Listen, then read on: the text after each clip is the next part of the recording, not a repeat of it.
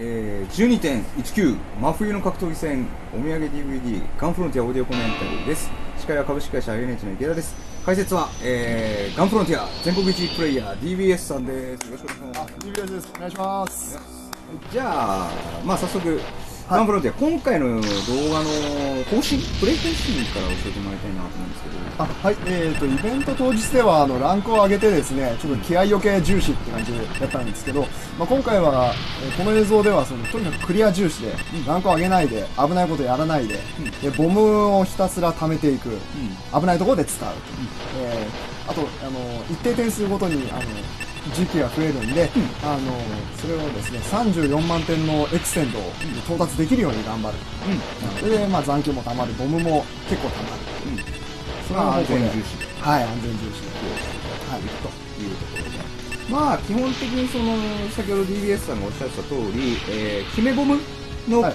箇所が何箇所かあるので、その辺をちょっとチェックしてほしいかなと思いますよね。そうですね。もう一面はひたすらもう使わないんで、たえーどんどん戦車の場所を覚えて取っていくっていう、今のあの難しいえー大きい選手が出てくる小屋も早く壊しちゃう壊しちゃって、ん。出さないでいいですようんうん。まあ、このゲーム基本的に戦車はパターンで決まってる。そうですね。地上物が完全パターンほぼ完全パターンで、えー空中物がもう完全ランダム。ランダムランダムさこはい、でこういうところであのパワーアップの変態5検体をなるべく壊すという、うんはい、でそれはもう手前の戦車の処理とかで僕はタイミングを取ってるんで、うん。それで毎回毎回なるだけ多くのパワーアップアイテムを取っていくっていうのは、まあ、安全重視の稼がない場合のコツです、まあ、あと DBS さんのプレイのポイントとして、まあ、各雑魚、まあ、いろんな雑魚青い雑魚とか、まあ、固有の動きを持つ雑魚空中の雑魚がいるんだけれども、まあ、それ一つ一つにねこう対処方法が結構あったりする。のでそうですね。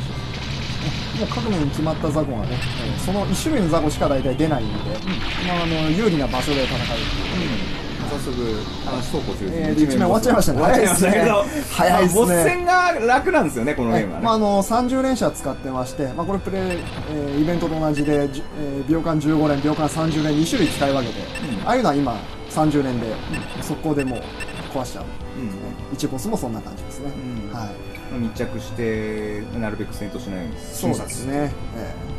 さあこの先輸送船、まあ、有名なガンフロンティアの稼ぎポイントいくつかあると思うんですけど、まあ、特に有名なのは、ね、輸送船この稼ぎ。ーそうですね、どういった稼ぎになりますか？えー、とこのゲームあこの、えー大型機が羽が500点、本体1000点で、えーボンバーで壊すと、えー本体が1万点になる、まあ、ガレッガの10倍稼ぎの元祖なんですけども、えーそれをですね今回のプレイでは、えーここで大ボム2発あるんで全部使ってボム2発で8万点取れることもできるんですけど、うん。まあ、半分のですね4機はショットで壊してこの4機をボンバーで。これで4万点になる、はい。この4番点を取っておくとこの先あの相当しくじっても34万点の最後の1キャップに到達できるという。うんなるほどね、で繰り返し見てぜひ真似してほしいポイントだそうですね、ここはもう存分に参考にしてほしいですね。ええ。これ取っておけばだいぶ楽になるんですよね。あとこのゲームって初心者がよくまあ有名なのはほらなんかこのゲームランクがさショット上がっていったりっていう話がよくあるじゃはい。ないですか、どうなんですかその辺は？どうもその、そうですね、信用できる筋から聞いた話だと、まあ、ショット発射数と、えーノーミスというか、タイマーランクですね。えー死なない時間ですよね。うんその2つなんですけれども、まあ、まあ、バトルガレッカもそうなんですけど、死なない時間の割合がかなり高いんで、えーまあ、ショットとかあんま関係ないんですよね。ああ、えなるほどね。まあ DBS さんがさ散々ねこのゲームプレイした中で、まあどうもショットはそんなにうような感想を持ってる。そうですね、撃たないとこっちは死んじゃうし。まあ逆にそうだよね。そううん。あとザコの群れでね、30連撃っちゃうと弾切れ起こして、時期の周りが寒くなって死んじゃうんで、ねうんうん。そうだよね。えまあそこまで。無駄弾を少なくっていううんプレーになりますね。まあ、ザコに対してはもう A ボタンを、ね、ショットボタンポチポチ押すとか、うんうんちょっと塊には15連射とか、うんすごい課題的には密着で30連とか、うんうん。ショットボタンの連射を使い分けるっていう、うんええなるほどねショットボタン一つなんですけど、まあ、いろんなショットボタンを使い分けるっていう、うんちょっと癖のある難しさですよね。なるほどね。今のところも、まあ、雑魚の対処を覚えて、でそうですね、選手なので覚えて、まあ、早めに動くという。はい、ここ右下に1機だけ出てくるこれこれ重要これ危ないですよね。危あれあの時に左下にいるともう右下からバンバン弾打ってくるんで、あはい、必ず右下にいて即乗っかってぶっ壊してくださいでここも、えー一旦右行きます。っていうと左から選手が2台出てきます。あそこもあの左にいるとですね森の中に突然戦車が判定だけ出てきて、森の中から弾が飛んできて即死するんで 必ず出る前は右にいてくださいなるほどその2つですね、うん。危ない、はい、まず死にますね職員これはさっき言うとこのヘリ型のこの青いザは、はい、この青い雑魚はですねこんぐらいなら大丈夫ですけどあの、えーランク上がると最強の敵なんですよね。もりもりもりもり超湧いてきますね、うん。もう出る一気出るっていうプログラムが出た瞬間にもう左右どっちから出るかランダム。でた出る高さもランダム。出るえ出てきて突っ込んできてどのポイントで誘導モードになるか、うんうん。特攻モードから誘導モードでどの地点で変わるかもランダム、うん。ランダム尽くし強敵なので注意注意さあ2ボス2着。はい。終わり。早い30連。はーい。まあボス戦はね30連使ってとっとと終わらせましょうっていうのがポイントかな。まあ、気持ちちょっとそのタイマーランク意識してるのもありますし何よりさっきのボスはほっとくとあの最強の青ザコがいっぱい出てきてしまう。あね。あれが出ないうちにもう連射装置があるさあ3面。はい、3面。この面は青ザコじゃなくて白ザコが白ザコね青水色と白で、まあ、通称白ザコ、白ザコと呼ばれてるやつね。勝手にストーカーザコストーカー。ストーカーって呼んでるんですけど、ねこいつがあの時期からですね時計回りの方に回り込んでですね、回り込んでる最中にこうやって弾を撃つうんうん。危ないですね。ぐるぐる回ってしまうんで。すで画面右から3分の1ぐらいの位置にいるとあの回り込まれない、うんなるほど。ね左からはやつは回り込んでこないっていううん。特性があります。必ず右から回り込んでくるっていうのを覚えておけばこの雑魚が出るとこ必ずもうなるだけ画面左には行かない行かな。い右で戦う。あその辺ちょっと注目してほしいかな。はい、だから3面はですね基本この雑魚で構成されてるんで、ん。もう必要以外は絶対左に行かないです。あの左のえーとそうですね。あの上陸艇と戦車でですね、えー一石2個ボムチップ取れるんですけど無視です。無視。はい全部無視してくださいでこいつも無視です。この白雑魚にね変な動きをされるぐらいであれば。そう。潜水艦は逃がす。でここで倒しておくと後々もう一回潜水艦が出ないんですね。次のポイントでっていう利点なんですけどでもこの辺りって死にやすいんですよ。この陸地の間で、ええ。せっかくあそこで速攻で倒していてもこの辺で死んじゃうと次の場面でまた出てきちゃう、うんで意味がない意味がないはい、あそこは逃げに徹しましょうはい、えまたー、ここも危ない戦車とあのダコで危ないので。ここで左行ってボム使います。で右に戻ります。そうすると左側の戦車は0か1匹今0ですね、はい、であとは右の方で要はその左右からザコが出るんで左のザコを潰しつつボムを使って、ボムを使ってる間ザコが出ないんですよ。ボムの効果中はザコが出ない。なるほど。その間に右に戻戻ったり。戻れまあこうやってねあの逃しておいた潜水艦の速攻で倒したり。なるほどなるっていうのは重要ですね。うん。左危ないですねほど無駄な戦車との戦闘は避けると。さっき説明できなかったんですけど、えー、とさっきの列車の、えー斜めに走ってる線路からですね、うん。今えー左からなんかお中ボスの大型戦車出たんですけど、うん。あれ左右どっちから出るかランダムなんで、うんうん。えーあのまあ まあ早めに判断して頑張ってくださいとしか言えないんですけど、はい、ここはですね左上で。ザコが出るんで右にいたいんですけど左上から大型機出るんですおっと危ない。で右に行きたい。いいやい。けない。あもう一回もうだ。もうダメだこれで右行きますね。はい。ここで使ってしまったんでどっかで一発蹴散らないといけないんで。なるほどね。はいその辺のそうですね計画性も重要といそうですね。でもケチって死ぬぐらいならね、もうボムが尽きるまでね、危なかったら使いましょうといううん基本ですね。うんなんでかっていうと、破壊死にしてもボムが増えないからです。あそうですねこのゲームはバトルガレックはボム満タンでない限り、あの、死んだらボム増えるんですけど、このゲーム増えません。ボムがカラッカラの状態じゃないと増えない。それだけね、命大事に。命大事にランク上がっても関係ないんで、このゲームは。はい。勝手に上がるんでやめてください。そうですねはい。とにかく死なないっていう。死なないことが重要まあ雑魚もう画面左にねあの切り返して追いやられちゃった場合はもう右に帰るチャンスをねそンバーで作れとそうですね。感じかなサンボソはい。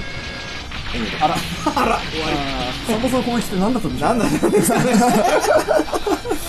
チェーンが出たがなんか無防備な建物をぶっ壊して終わっちゃいました3年がはい4年ですさあ読めんだ曲は最高なんですけど、ね、曲最高まあゲームもうんまあいいんじゃないですかね。まあいいんじゃないですかねはい。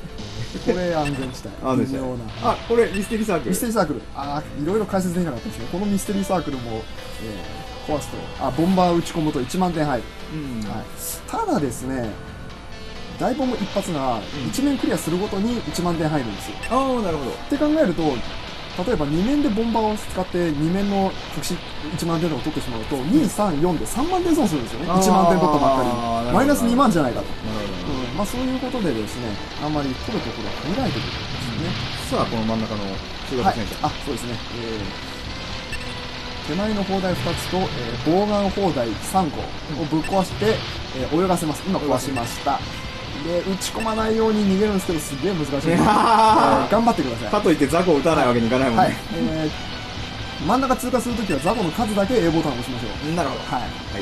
これで23発ポコッと打ってすぐポチポチっと打ってすぐ左ね打って。なるほど。おお本当だ。白ザコを出たらもうすぐに右。すぐに右。で左の方からはバラマキ戦車が出てくるんでなるべく左は行かない。さあここまで来て。倒すと。倒すと粘った甲斐あって真ん中に。オレンジの時に取ると大ボム。大ボム。隠しアイテムですね。順調ですね。覚えておいてください。はい。この雑魚もちょっと強いんだよね。こいつ画面内からね突っ込んでくるんですよね、でね、ニュータイプになると、あれがなんか、あ、そろそろ画面がいるなってわかるんですよ。どんだけ すげえなんか今、スカスカだったから画面外に今2匹いるなっていうのがわかる。なるほどああええ。そうなんだ。そう。なるほどなるほど。だから一定時間ごとにポチポチポチって出てくるから、それがなんか間引かれてるとき、あ、画面外にいる。あつまりその画面上に出てくる数って決まってるっていうそうですね、ことなんだね。そうですね、画面の左右どっから出るかはランダムなだけなのうで、んなるほど。ええなるほど出る数は決まってますね。さあ中古時は覚えて。覚えてくださいの雑魚は画面上4分の1から上にいると一切弾を撃たなくなる。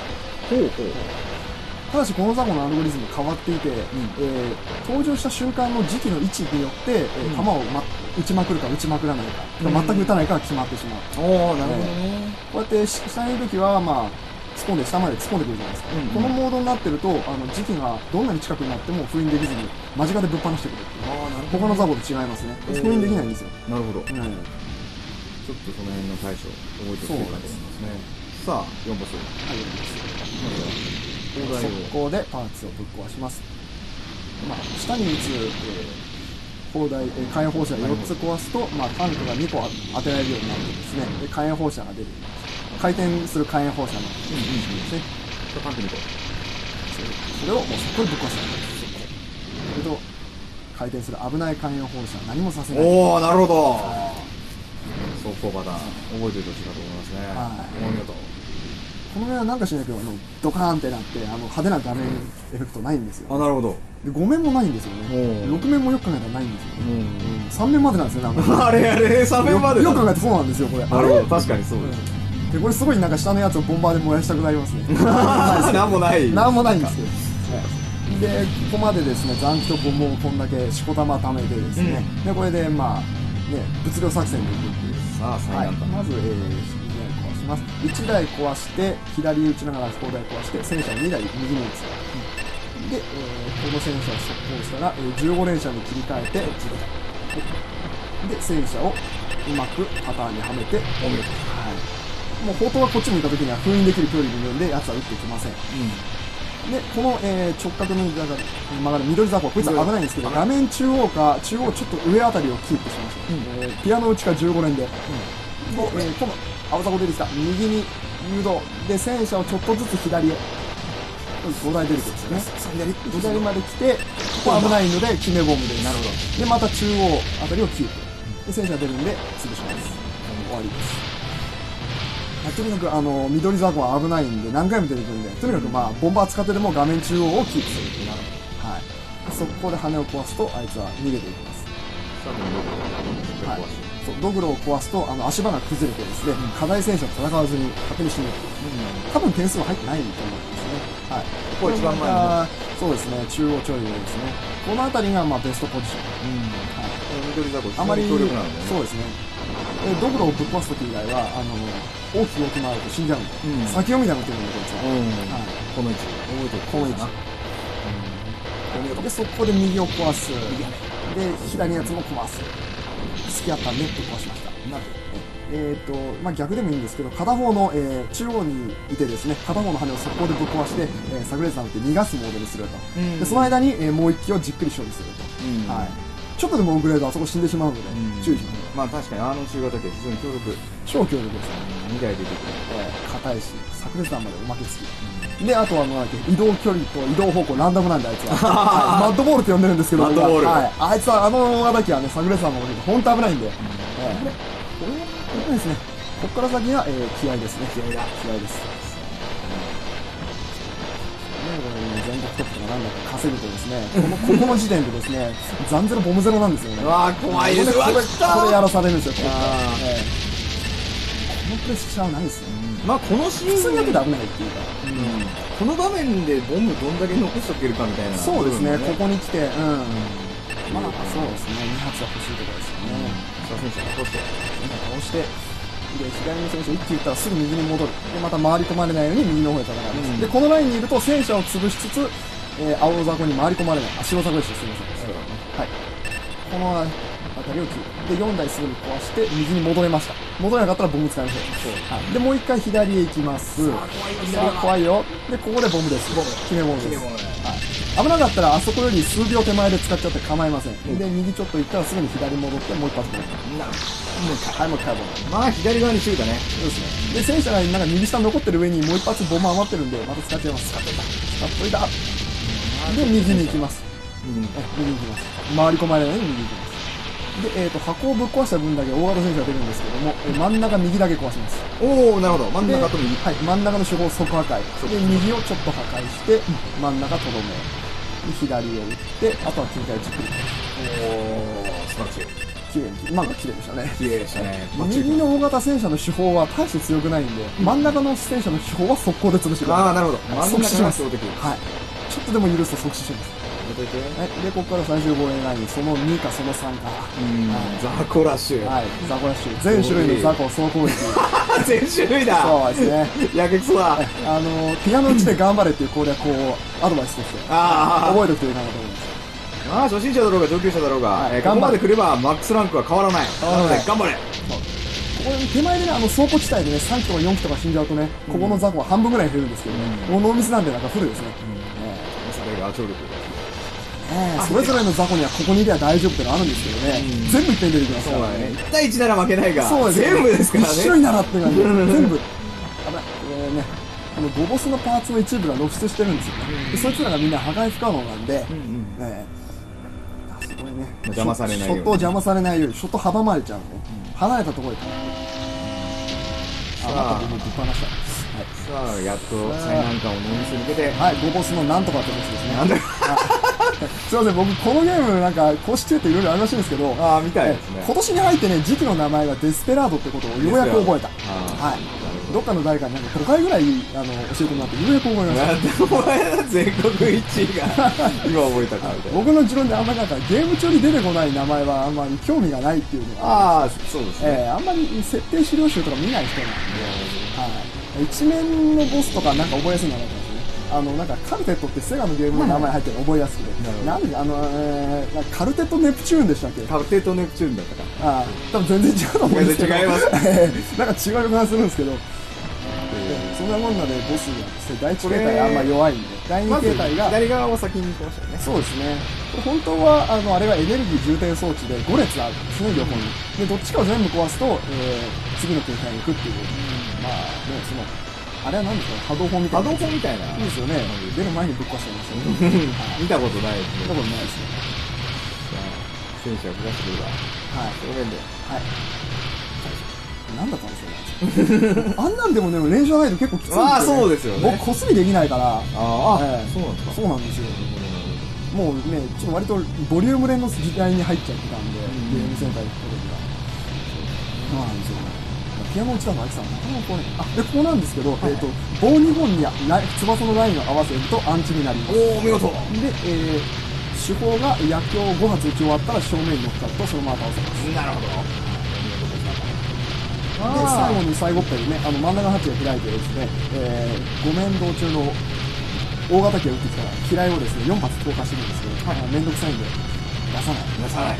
すごく硬いですそう今画面上に切るんですけどあの棒ですね。あの棒2本に羽を合わせます、はい、そこで、えー、一番上にいて30連押してるだけで安全地帯、えね。最初の一発は1セット安全地帯。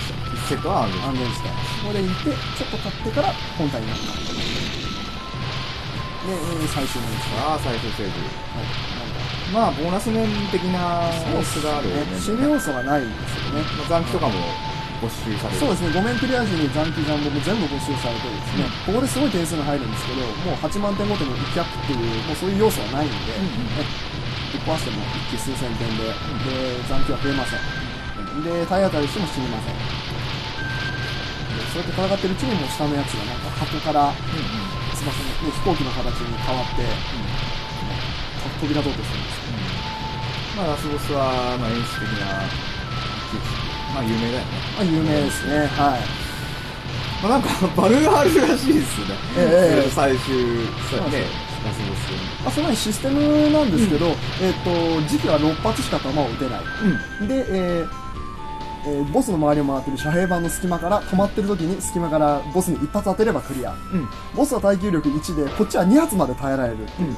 えー自キャラの方が耐久値が高いっていう珍しいこの決戦ですね。えー2発耐えられる。ボスは1発さあで、正面えーラインに合わせてバーン外れ。外れ。えー、と2回目は、えー偶数回は、えー E の縦棒に合わせます。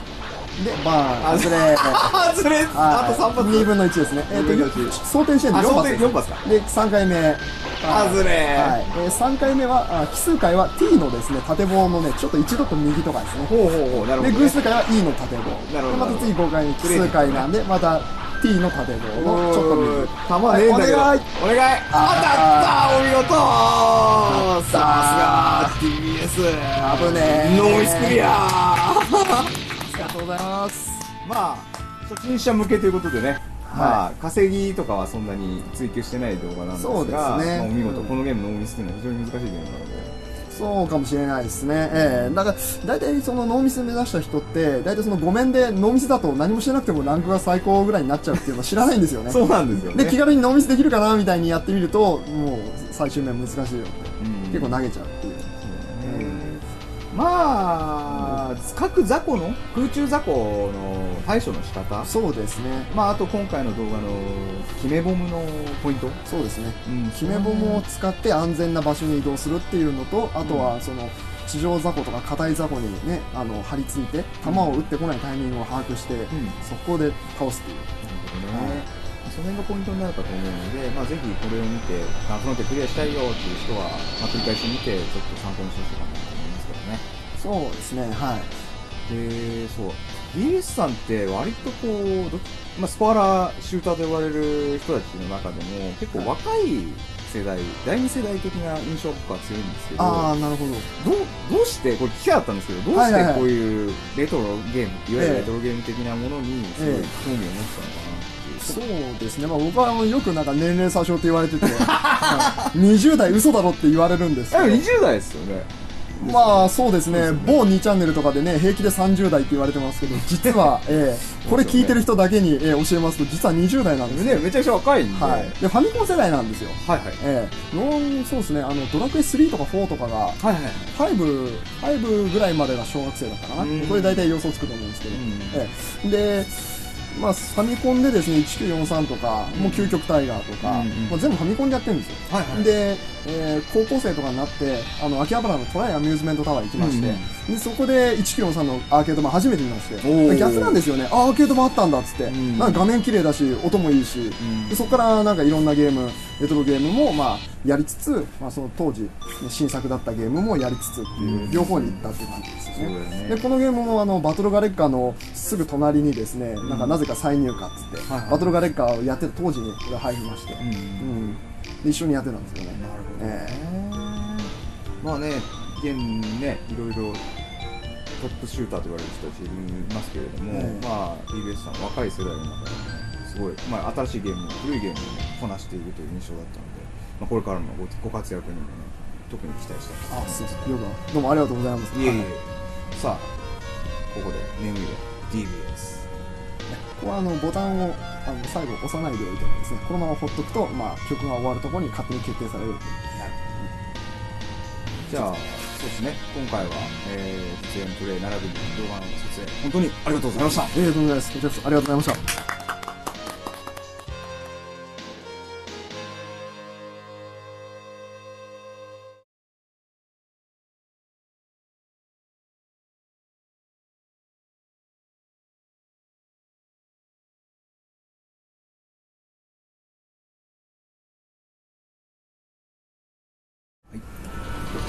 さあ、引き続き、えー、おまけ映像の、えー、コメンタリーですね。はい、そうですね。よろしくお願いします。はい。BBS さんです。さあ、どうすんの？ラで、えスボスさん。ー、ラスボスね。これあの、バッドエンディングを撮ってくれということで。はい。はい。で、まあ、ただバッドエンディングじゃつまんないんで、うんまあ、ちょっと大道芸ってことで、えーここで位置合わせて、突っ込む俺だお、なにこれ？